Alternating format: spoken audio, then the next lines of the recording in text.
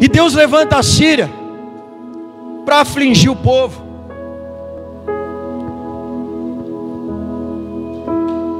E aí a Bíblia diz que Deus fala assim para aquele povo: olha, ainda que o teu povo seja como a areia do mar, alguns vão se arrepender e se converter.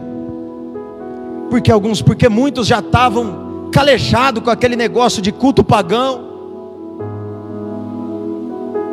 idolatria, as coisas fáceis, servindo a reis corruptos, a homens corruptos.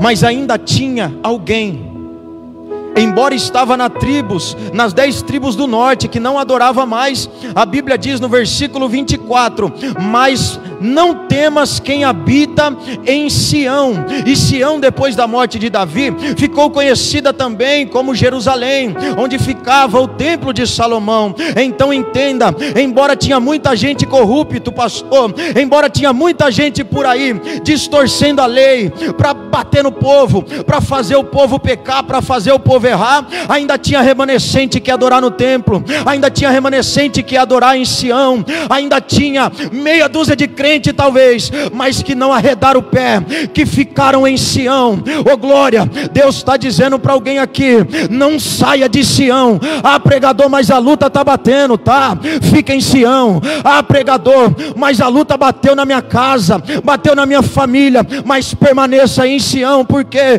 porque no meio dessa luta, no meio meio dessa dor, no meio dessa aflição, Deus tem um propósito contigo.